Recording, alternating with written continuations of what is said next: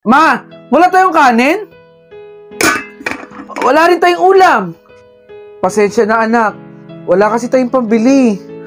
Wala tayong budget. Bakit hindi niyo po sinabi sa akin agad, ma? Eh di sana nakabili dapat ako ng bigas saka ng ulam natin. Eh, wala rin kasi akong pan-text. Naubusan ako ng load. Para i-text Okay, ka. sige. May pera ako dito.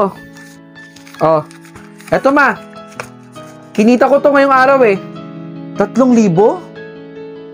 Ipambili mo po to ng bigas at ng ulam natin, ha? Sa susunod ma, sabihan mo ko. Para naman nabibili ko yung mga pangangailangan natin dito. Salamat ah. Saan kaya galing to? Bakit siya may perang ganito? Pakitignan nga po dyan sa gilid ng TV.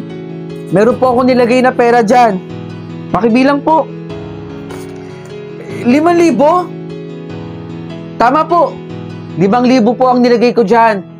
Bakit parang ang laki naman ito, anak?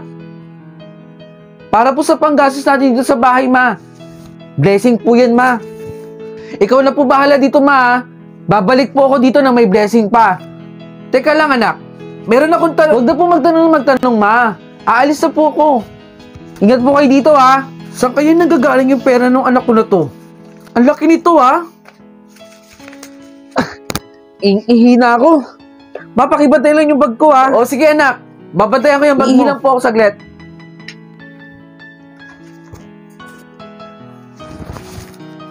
Ang dami niyang pera.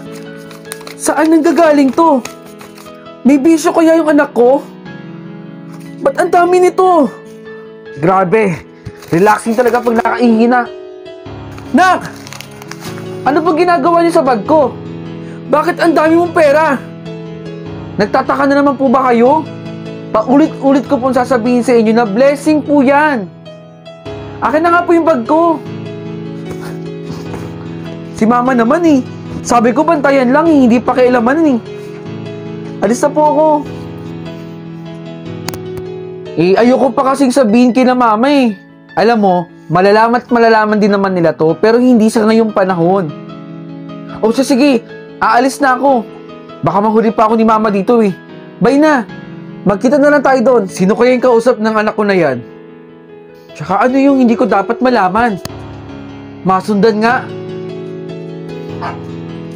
Sige po, pantay lang po ah. Sa inyo po? Ma! Nak! Napaka-imposible na makakuha ka ng malaking pera kung tindero ka dito. Hindi po, ma. Sa akin po to. Itong lugawan na to. Nilihim ko po sa inyo. Kasi bala ko pong isorpresa kayo eh. Pasensya na po. Oh, na-enjoy mo ba yung content ko? At gusto mo rin bang manalo ng POV shirt gaya ng suot ko? Madiscarding nila lang?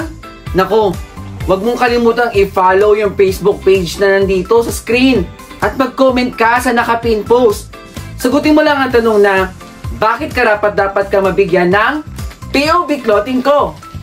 Tatlong designs meron tayo. Malay mo, isa ka na sa mabigyan ng POV shirt ko. Ano pang inaantay mo? Mag-comment ka na doon. Bilis!